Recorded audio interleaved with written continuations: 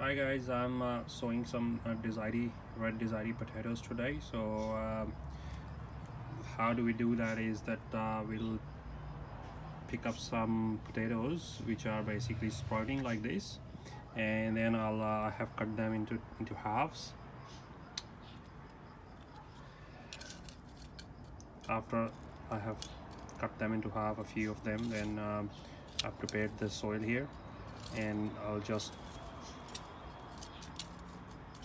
sow them here like this. The sprouting side up.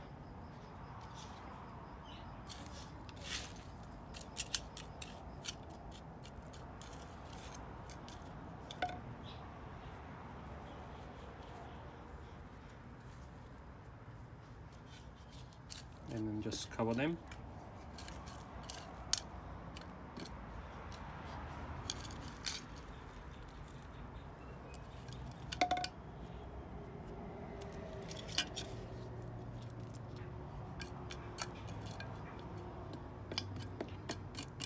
the weather is a little bit cold then like a little bit too cold then it'll take some time for them to basically